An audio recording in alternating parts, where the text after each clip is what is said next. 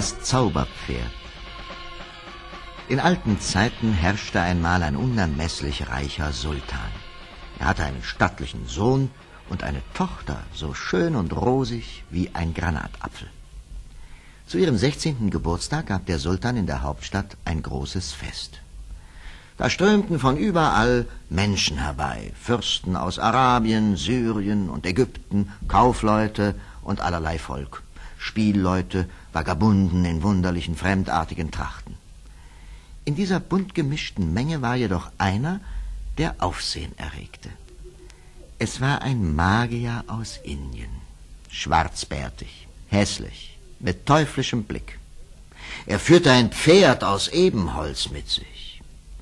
Ruhig schritt er durch die verwunderte, gaffende Menge auf den Sultan zu und sprach. Großer Herrscher von Persien, erlaubt, dass ich zu Ehren eurer Tochter die Künste meines wunderbaren Pferdes vorführe. Sei willkommen, Fremder, und sag, was hat es mit deinem Pferd auf sich? Dieses Pferd, Majestät, bringt jeden, den es trägt, im Fluge überall hin, über Meer, Gebirg und Wüsten, wo immer sein Gebieter es will.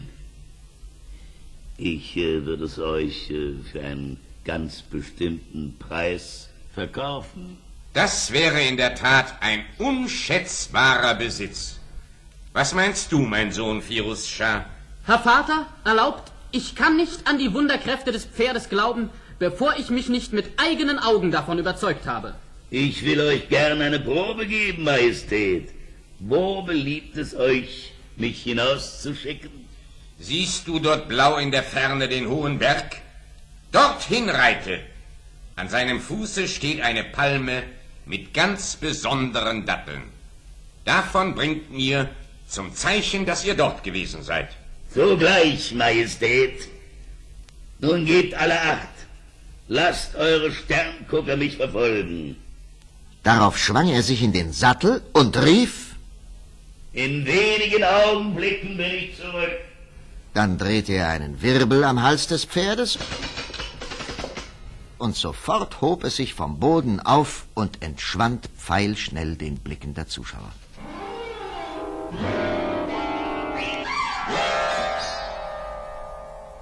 Nach zwei Minuten tauchte es wieder auf.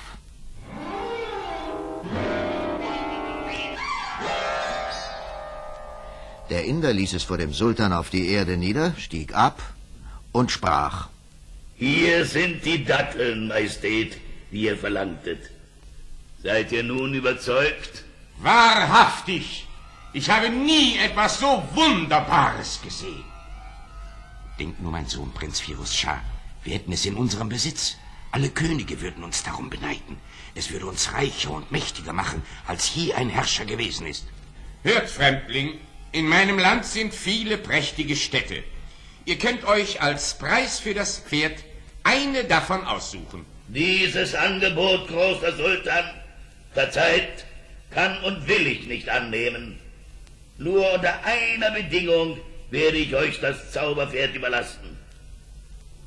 Ihr müsst mir eure Tochter zur Frau geben. Nach diesen Worten herrschte einen Augenblick Totenstille. Der Sultan selbst war sprachlos vor Zorn und Unwillen über das kühne, unverschämte Verlangen des alten Magiers. Doch im Grunde seines Herzens hatte die Gier nach dem wunderbaren Gegenstand schon gesiegt. Und so sagte er Fremder, ihr seid wahrhaftig ein großer Meister. Bleibt als Gast in meinem Palast. Ich will euren Vorschlag in Ruhe überdenken. Darauf ging der Sultan in sein einsamstes Gemach. Der Prinz Firus Schah aber, der mit Empörung zugehört hatte, folgte ihm und sagte Mein Vater verzeiht, ich finde eure Rede nicht recht. Ihr wollt doch nicht etwa diesem dreisten alten Gaukler eure Tochter zur Frau geben, für eine ungewisse Zauberei meine Schwester verkaufen. Prinz Firus, ich glaube, du hast gewiss den unschätzbaren Wert des Pferdes nicht richtig gewürdigt. Sag, soll ein anderer Fürst sich rühmen, es zu besitzen? Unsere Boten, Karawanen, Armeen damit überfliegen? Das könnte ich nicht ertragen. Aber bedenkt doch, eure zarte Tochter in den Händen dieses Greises. Sein Gesicht ist voller Runzeln, der Mund voller Zahnlücken, seine Nase ist wie eine rotbraune Winterrübe. Beruhige dich, mein Sohn. Noch habe ich seinen Vorschlag ja nicht angenommen. Vielleicht bescheidet er sich doch mit einem anderen Preis. Was meinst du, soll ich ihm bieten? Gebt ihm drei der reichsten Städte. Doch vorher möchte ich selbst einen Versuch mit dem Pferd machen. Denn es könnte ja sein, dass es nur dem Zauberer gehorcht. Du bist klug. Tue das. Sei aber vorsichtig. Darauf ging er mit dem Prinzen zu dem Inder zurück und sagte, Höre, Fremder, ich will sehen, ob uns das Pferd den gleichen Dienst erweist wie dir. Hilf meinem Sohn in den Sattel. Der Prinz aber hatte sich bereits geschickt hinaufgeschwungen und an dem Wirbel gedreht. Augenblicklich stieg das Pferd hoch in die Lüfte und verschwand pfeilschnell in den Wolken. Da ergriff den Sultan plötzlich große Angst um seinen Sohn. Und er rief, Beim Propheten, wenn ihm ein Unglück zustößt. Das ist wohl möglich. Doch ist es meine Schuld nicht. Doch gewiss, warum habt ihr nicht zurückgerufen? Ihr wart doch selbst Zeuge, dass mir keine Zeit dazu blieb. Und alles Rufen wäre nutzlos gewesen, denn der Prinz kennt das Geheimnis des zweiten Wirbels nicht mit dem er das Pferd zur Erde zurücklenkt. So ist er in Todesgefahr. Mein einziger Sohn, der Erbe meines Thrones. Majestät, meine Schuld ist es nicht, wenn er bis zum jüngsten Tag durch die Luft dahin sausen muss. Oh, du heimtückischer Schwarzkünstler! Du sollst mit deinem Kopf für sein Leben haften. Ist mein Sohn binnen drei Monaten nicht unversehrt zurück, so geht es dir ans Leben. Wachen! Werft ihn in den Kerker! Schickt die Spielleute zum Tor hinaus! Sagt alle Festlichkeiten ab! Der Erbe des Reiches ist verloren!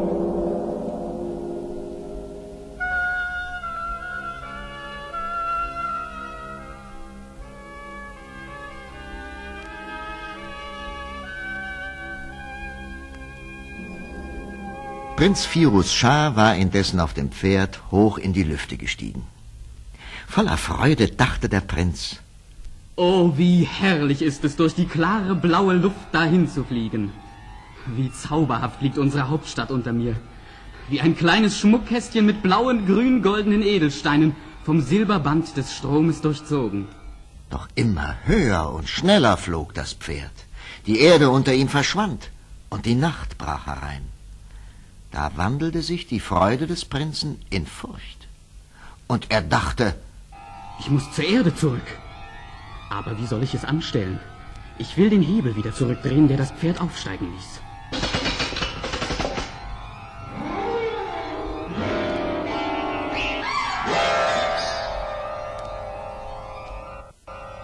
Aber was ist das?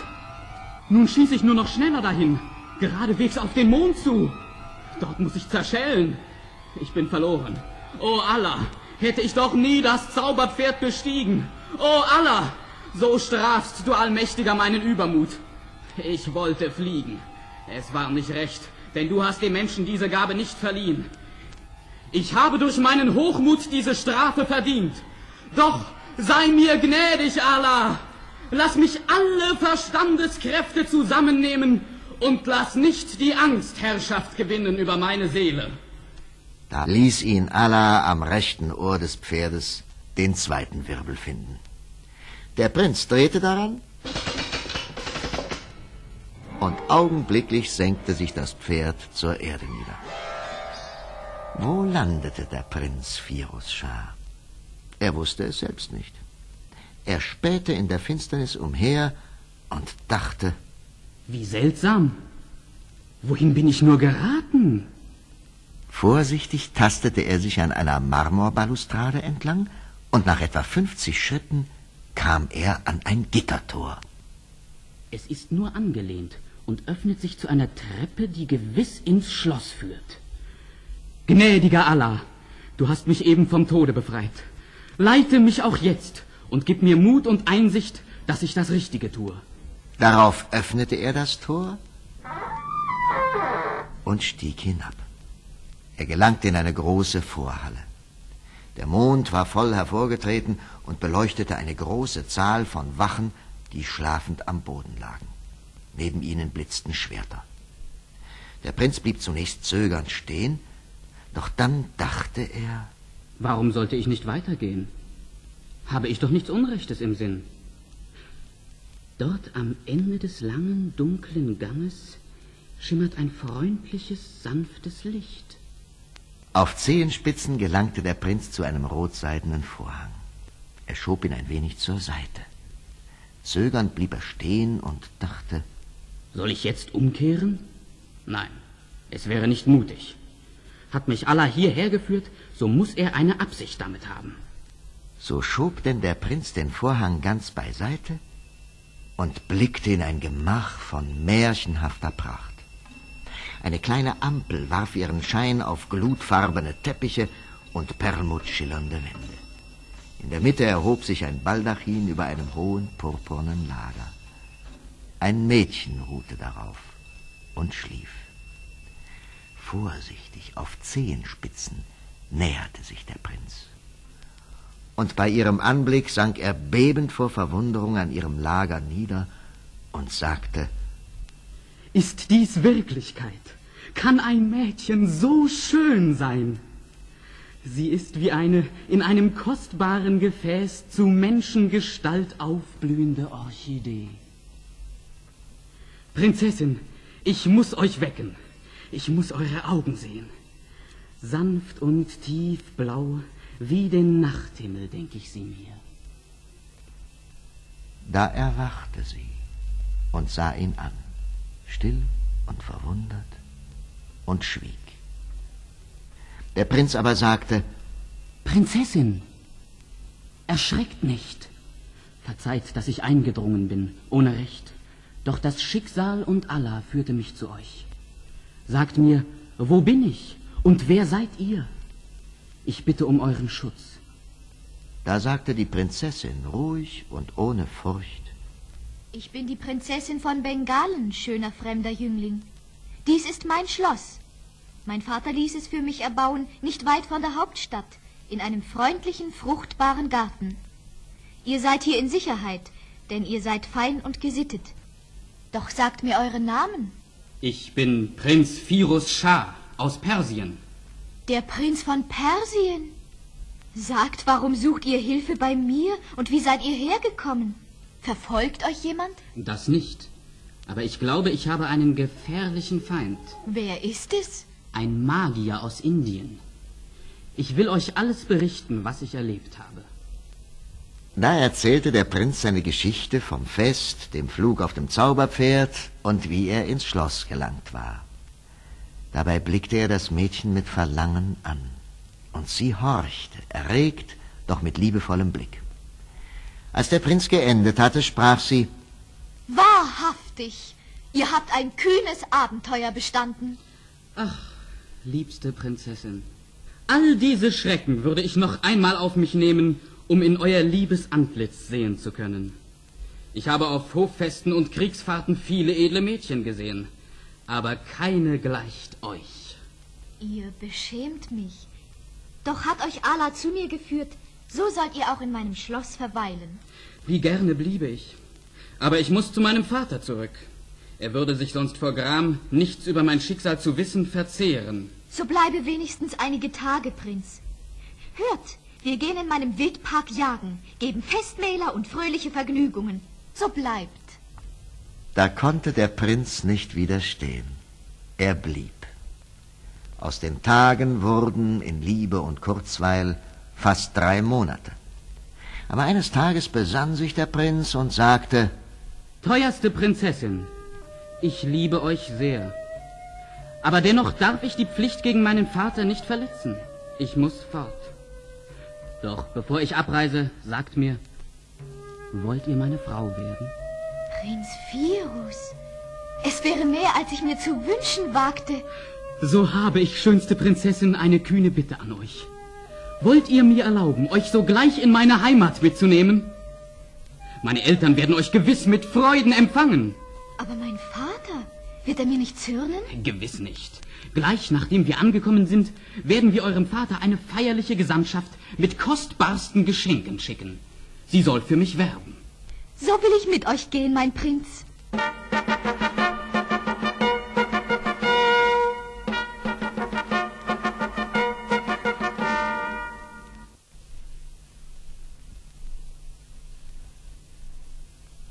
Gleich als der Morgen dämmerte, bestiegen sie das Zauberpferd. Und als die Sonne am nächsten Tag aufging, wies der Prinz auf den Horizont und sagte Irikisei, Prinzessin, siehst du dort die blau-goldenen Kuppeln? Es sind die Kuppeln unserer Hauptstadt. Die größte erhebt sich über dem königlichen Palast. Wie herrlich! Ich freue mich. Liebe Prinzessin, ich kann dich nicht gleich dorthin bringen, sondern lasse dich diese Nacht in einem Lustschloss vor der Stadt. Ich muss erst einen würdigen Empfang für dich vorbereiten. Morgen hole ich dich dann mit großem Gefolge ab. Darauf hielt er das Zauberpferd vor einem Parkschlösschen an und führte die Prinzessin in ein schönes Gemach. Dann ritt er auf einem feurigen Araberhengst in die Stadt. Das Volk jubelte ihm zu, und der Sultan kam ihm entgegen, umarmte ihn und weinte vor Glück und Freude. Nun erzählte der Prinz sein ganzes Erlebnis. Auch seine Verlobung mit der Prinzessin Irikisai von Bengalen verschwieg er nicht. Als er geendet hatte, warf er sich vor dem Sultan auf die Knie und sprach Mein Vater, verzeiht mein langes Ausbleiben und gebt mir eure Zustimmung zu dieser Heirat. Steh auf, Firus Schah. Ich kenne deine Klugheit und dein sicheres Urteil und bin gewiss, dass deine Wahl richtig ist. Ich selbst will deine Braut hierher führen. Gleich heute Morgen wollen wir alles für die glanzvolle Hochzeit anordnen. Doch vorher muss ich den Inder aus dem Gefängnis befreien. Was ist mit ihm, Vater? Gleich wirst du's hören. Als der Magier vor den Thron geführt wurde, sprach der Sultan Du solltest mit deinem Kopf für meinen Sohn bürgen. Danke dem Propheten, dass es nicht mehr nötig ist. Der Prinz ist zurückgekehrt. Am letzten Tage der Frist. Du bist frei. Aber verlasse noch heute mein Reich. Wie ihr es befehlt. Aber ich sage euch, ihr werdet mich nicht vergessen. Darauf verließ er mit grimmigem Gesicht den Palast und dachte böse bei sich. Ahnten Sie, dass ich von der Hochzeit des Prinzen erfahren habe und den Kerkerwachen abgelauscht habe, wo sich die Prinzessin von Bengalen aufhält? Mit einem Araberhengst hörte ich, ist der Prinz in die Stadt geritten. Also muss das Zauberpferd bei der Prinzessin sein. Jetzt kann ich Rache nehmen, großmächtiger Sultan. Jubelt nur, bereitet eine glanzvolle Hochzeit vor. Indessen wird euer Glück schon von mir vereitelt. Mit grimmiger Freude lief er eilig zu dem Parkschlösschen und sagte zum Verwalter Der Sultan hat mich beauftragt, die Prinzessin in den Palast zu führen. Dort will er sie mit seinem Sohn vor dem ganzen Volk empfangen. Der Verwalter ahnte nichts Böses und ließ die Prinzessin auf den Schlosshof führen, wo noch das Zauberpferd stand. Sogleich schwang sich der Inder in den Sattel, hob das Mädchen hinter sich aufs Pferd und stieg mit ihr in die Luft empor. Über der Stadt senkte er das Pferd ein wenig herab und umkreiste mit teuflischem Lachen den Palast. Da riefen die Leute in großer Bestürzung Seht nur, großer Sultan, Der indische Gaukler! Der Ruchlose! bei Allah!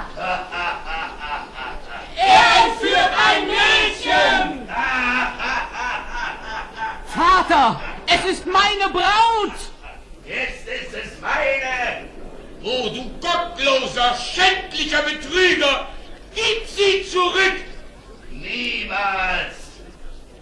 Du wolltest mir deine Tochter nicht geben? So nehme ich dir die Braut deines Sohnes. Großmächtiger Sultan. Jetzt du allmächtigen Propheten nicht! Schändlicher! Der Ruchlose! Bei Allah!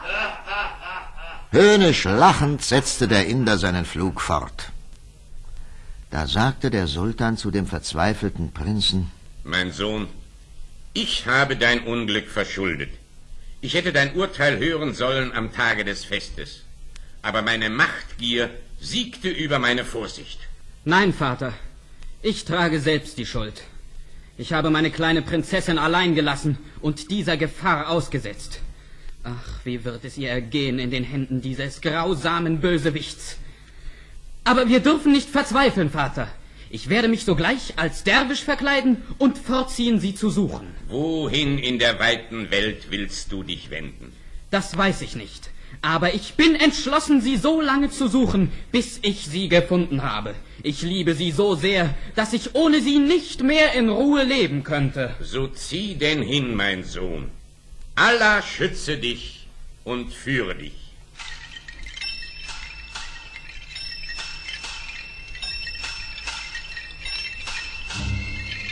Indessen war der Inder mit der Prinzessin schon weit fortgeflogen. Als sie am Abend in einem Walde rasteten, begann die Prinzessin laut zu weinen und ihr Schicksal zu beklagen. Da kam eine Schar fürstlich gekleideter Jäger heran. Neugierig umringten sie das verzweifelte Mädchen und schauten es an. Der Anführer aber trat zu dem Inder und fragte ihn, Wer ist diese schöne Frau? Warum lasst ihr sie so herzzerreißend weinen? Das geht euch nichts an. Doch gewiss, denn ihr befindet euch in meinem Lande. Ich bin der Sultan von Kaschmir. Antwortet. Was ich mit ihr habe, ist meine Sache. Sie ist meine Frau und Sklavin. Das ist nicht wahr! Glaubt diesem Mann nicht! Er ist ein ganz grausamer Zauberer! Weg, Elende! Nein, ich will jetzt reden! Hört, dieser Mann hat mich geraubt und entführt! Helft mir! Rettet mich aus seinen Händen! Ich bin die Prinzessin Irikisai von Bengalen. Mein Bräutigam ist der Prinz von Persien. Sie ist nicht bei Sinnen. Sie lügt. Ich höre sehr wohl, falscher Fremdling, dass sie die Wahrheit spricht. Ihre Schönheit und ihre Anmut im Schmerz beweisen es mir. Meine Getreuen erfasst ihn. Und ehe sich der Inder auf das Pferd schwingen konnte, ergriffen sie ihn und der Sultan von Kaschmir sprach, So, du Elender, ich selbst will dir den Dolch ins Herz stoßen. Barmherzigkeit, Erbarmen. Mit so Ruchlosem wie dir? Niemals! Da! Ah! Oh, schrecklich, furchtbar! Doch so musste Allahs Strafe ihn treffen. Schweigend scharrten die Jäger den Leichnam ein. Dann nahm der Sultan die Prinzessin auf sein Pferd und brachte sie in seinen Palast. Sie war sehr glücklich über ihre Befreiung. Doch die Freude dauerte nicht lang. Der Sultan nämlich war von ihrer Schönheit so bezaubert, dass er sich gleich am nächsten Tag mit ihr vermählen wollte. Sie aber war entschlossen, um keinen Preis ihr Wort zu brechen, das sie dem jungen Prinzen Firus Schah gegeben hatte. In ihrer Not stellte sie sich so, als sei ihr Verstand verwirrt. Sie stieß schrille Laute aus und tat, als wollte sie dem Sultan die Augen auskratzen. Da ließ er die besten Ärzte seines Reiches kommen, aber keiner konnte sie heilen.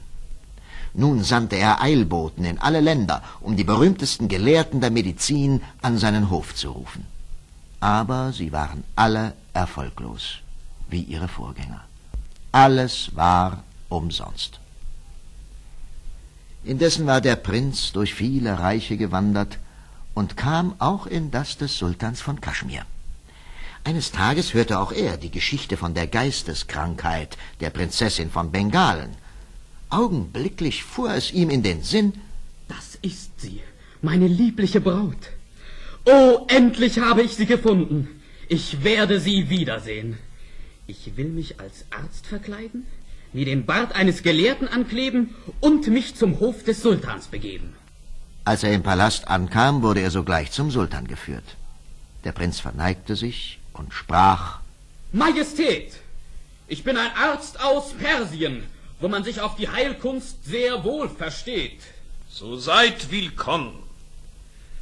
Obwohl ich habe keine Hoffnung mehr.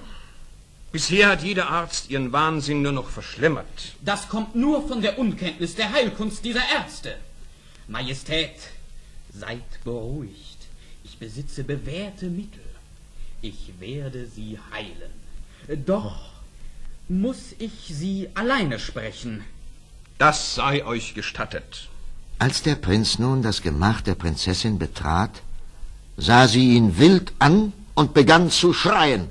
Fort, fort, du Quacksalber, du Giftmischer, fort hinaus, sonst zerkratze ich dir das Gesicht. Prinzessin, seid ruhig. Erkennt ihr mich nicht? Ich bin es doch. Ich bin kein Arzt. Ich bin euer Prinz, Firus Schah. Ihr, ihr seid, ihr seid... Ja, geliebte Irikisei, meine Prinzessin, euer Bräutigam. Jetzt erkenne ich euch.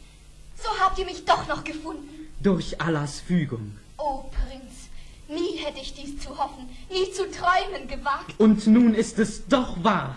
Aber still jetzt. Es wäre alles verloren, wenn man uns belauscht. Hört, ich habe mich als Arzt verkleidet, um euch zu befreien. Das Zauberpferd soll uns in ein glückliches Leben tragen. Wisst ihr, wo es ist? Es steht in der Schatzkammer. So wird mein Plan gelingen. Vertrau auf mich und tue alles, was ich dir sagen werde. Oh, ganz gewiss. So lebt denn wohl. Darauf ging der Prinz zum Sultan und sagte, Majestät, ich habe die Prinzessin fast völlig geheilt. Sie ist ganz ruhig geworden. Doch erzählte sie von einem Zauberpferd, auf dem sie in euer Land gekommen ist. Wisst ihr etwas davon? Es ist das sonderbare Pferd aus Ebenholz. Es steht in meiner Schatzkammer.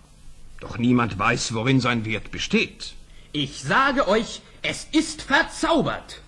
Und von diesem Zauber hat die Prinzessin etwas angenommen. Doch ich kann ihn durch gewisse Verfahren austreiben. Wie wollt ihr das durchführen? Nun, einfach ist es nicht. Dennoch ist mir der Erfolg gewiss, wenn ihr mir eure Hilfe zusagt. Die will ich euch gewähren. Was also soll ich tun? Lasst morgen jenes sonderbare Pferd auf den Palastplatz stellen. Die Prinzessin soll das Gewand ihrer Trauer ablegen und kostbar geschmückt erscheinen und das Pferd besteigen. Ist dies getan, so verspreche ich, dass ich die Prinzessin in wenigen Augenblicken durch eine kurze Räucherung ganz gesund machen werde. Rätselhaft und sonderbar wie diese Krankheit mag wohl auch ihre Heilung sein. Das lässt sich denken. Am nächsten Tag wurde das Pferd auf den Palastplatz gestellt. Neugierig strömte das Volk herbei und drängte sich, das sonderbare Schauspiel zu genießen. Die Prinzessin erschien. Totenstille. Sie war zart und zauberhaft geschmückt. Der Prinz hob sie aufs Pferd. Dann entzündete er Rauchkerzen und murmelte etwas. Ein dichter Rauch stieg auf, er umhüllte das Pferd und niemand konnte es mehr sehen. Blitzschnell schwang sich der Prinz hinauf, drehte den Wirbel und sogleich hob sich das Pferd in die Luft. Da rief der Prinz dem Sultan mit lauter Stimme zu. Sultan von Kaschmir, die Prinzessin hat dich um deinen Schutz angefleht. Du aber wolltest sie zwingen, dich zu heiraten. Um mir die Treue zu wahren, hat sie sich wahnsinnig gestellt. Merke dir, Liebe lässt sich nicht erzwingen. Wahre Treue lässt sich nicht brechen. Ich bin ihr Verlobter, Prinz Firus Schah von Persien. Doch da du sie auch geliebt hast, trifft dich keine Schuld und keine Rache. Noch am gleichen Tag erreichten sie den Palast des Vaters. Der alte Sultan war überglücklich. Er umarmte den Prinzen und die Prinzessin und es wurde eine Hochzeit gefeiert, wie man sie so strahlend noch nie gesehen hatte. Nach dem Tode des Sultans aber bestieg der Prinz den Thron seiner Väter und seine Regierungszeit war lang und glücklich.